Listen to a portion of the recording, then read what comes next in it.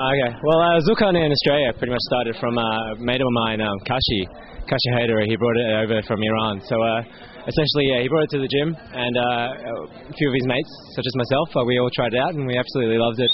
I think um, the sport brings a lot of unity to us. I think um, a lot of friendships, and, and really, it's such a, a chivalrous sport. You know, you really you really get together and, and have a great time, and, and also you know learn a lot about yourself spiritually, and also you know train yourself for great toning and so on. So, yeah, we've been absolutely enjoying ourselves and and uh, been training in Australia. We've been in isolation for so long that uh, this event has actually been a great help for us to kind of litmus test our performance against the rest of the world. So, yeah, we're absolutely honoured to be here and enjoying ourselves. So, yeah, thank you.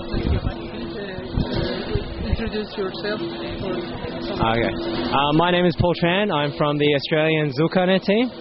Um, and it's a pleasure to be here. Thank you. How long uh, do you know the? How long have been? Uh, we've been doing it for about less than a year now. Um, so it's, it's been a very new sport. It's quite uh, it's quite a new sport for all of us, um, and we've all come from various different backgrounds. So. Yeah.